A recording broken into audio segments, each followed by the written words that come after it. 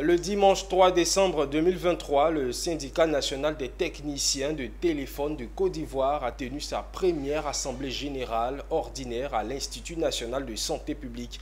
Le thème lumineux de cette assemblée était le technicien face aux défis de l'entrepreneuriat.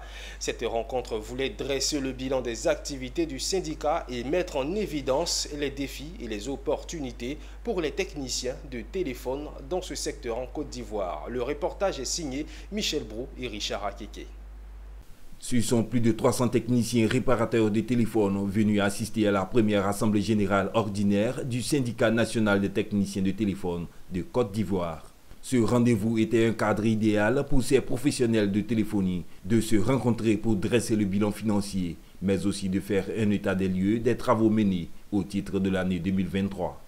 C'était pour le président le lieu de souligner l'amélioration des conditions de travail et la création de programmes de formation pour développer les compétences des membres. Le bilan il a été positif puisqu'il a été adopté par tous nos adhérents et il faut dire que vraiment on a fait un travail, un travail, on a battu un grand travail de sorte que euh, le bilan soit vraiment positif et qu'il soit adopté par tous. L'année prochaine, nous comptons euh, encore sensibiliser les gens et puis véritablement dénouer notre programme.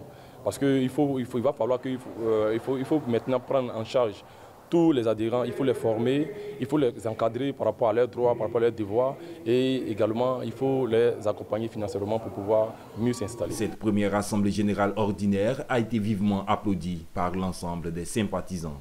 Pour moi, en tout cas, ceux qui ne sont pas encore adhérés, qu'ils s'adhèrent plus encore rapidement parce que je pense qu'à la longue, ça va mieux nous aider. Plusieurs personnes qu'on ne connaissait, on ne se connaissait même pas. Quand on se retrouve encore à une assemblée générale aujourd'hui, on pense que c'est une très bonne idée. Lorsque nous sommes dans une corporation, si nous ne sommes pas solidaires, ça sera difficile d'avancer. Et aujourd'hui, on a un papa, c'est comme un fils sans son père. Et le syndicat, c'est notre père. Grâce à ce syndicat, on peut compter sur cette activité pouvoir avancer. Le syndicat national des techniciens de téléphone de Côte d'Ivoire a été créé le 9 octobre 2020. Ce syndicat revendique 1000 adhérents à ce jour.